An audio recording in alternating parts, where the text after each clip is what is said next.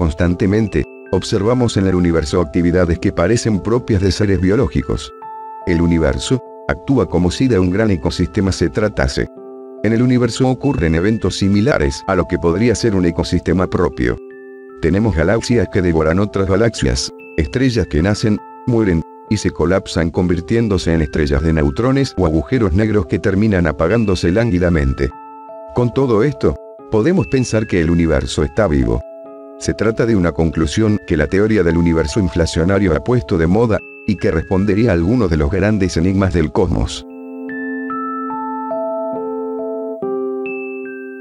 Lee Smolin, actualmente físico del Instituto Perimeter de Física Teórica de Ontario, considera que todo el cosmos es un complejo sistema en el que nacen y mueren continuamente universos.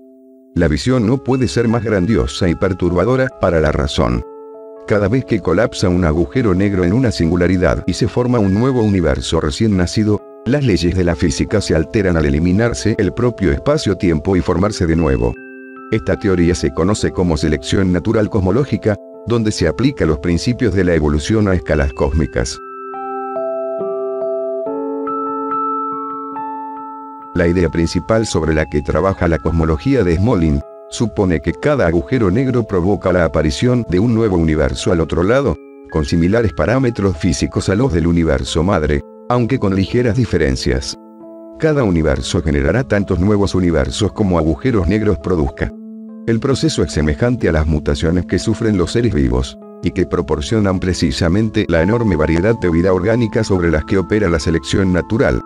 Según Smolin, cada universo recién nacido no es una réplica perfecta de su padre, sino una forma ligeramente mutada.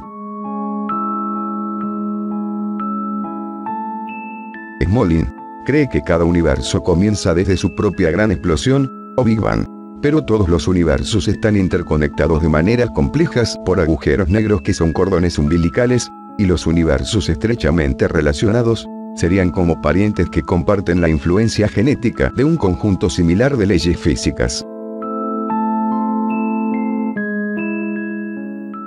Sin duda, esta es una de las teorías hipotéticas más interesantes de la física moderna. Algunas de las afirmaciones que ella predice rivalizan con la teoría de los agujeros negros de Stephen Hawking, el cual defiende que en un agujero negro se pierde la información por lo que no sería factible que los nuevos universos tengan las características de los universos padres. De todos modos, esta es una cuestión que se tendrá que demostrar en los años futuros. Pero una cosa está clara. El universo está vivo, y todo indica que seguirá así, durante muchos años. No sabemos si existen otros universos, pero esta teoría nos proporciona no solo un motivo para creer en ellos, sino también una explicación coherente que nos acerca un poco más a la verdadera y profunda naturaleza del universo.